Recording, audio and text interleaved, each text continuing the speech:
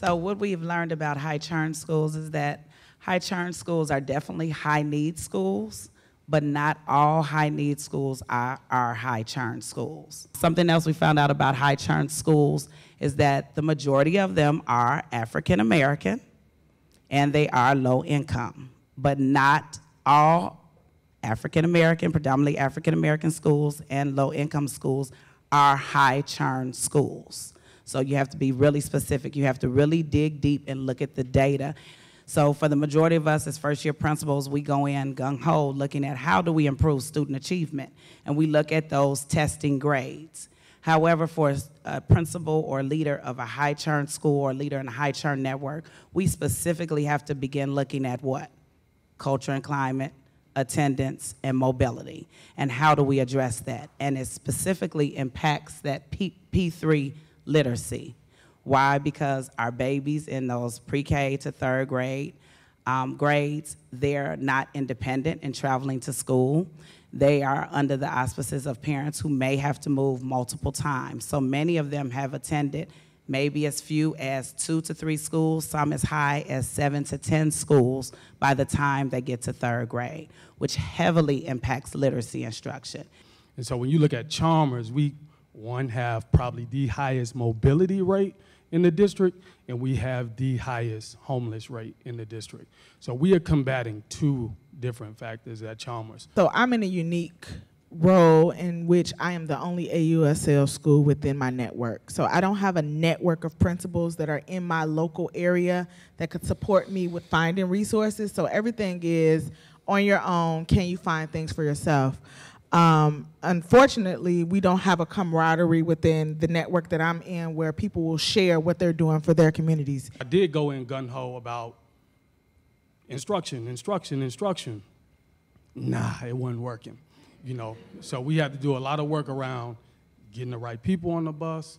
We had to do a lot of work around building a relationship with the community. We also have to make sure that we our message at Chalmers is a little different to our parents than most.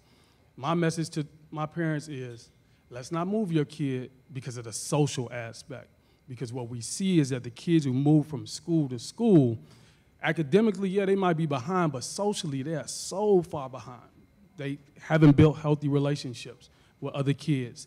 They're more combative because there's just little stability thinking about like talent in terms of my preparedness to serve at Curtis, there wasn't not a lot vested into my preparedness of a high churn school. I came from a high churn school, but a high churn school with different needs. So the high churn school on the west side was high churn because the same groups of kids rotated in and out.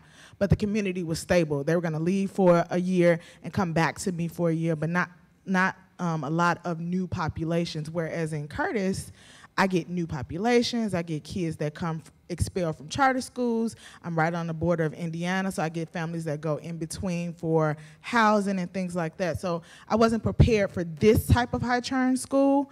Um, I was more prepared to come in and lead instructional change or an instructional rally. But as Romian said, when you get those keys to the building and you're trying to lead an instructional change and an instructional rally, and you don't think about all of the issues that come with a high churn school, you end up failing that first year when we start off at the beginning of the year, we all have our hard set and we start off with our routines and procedures and we're ready to go.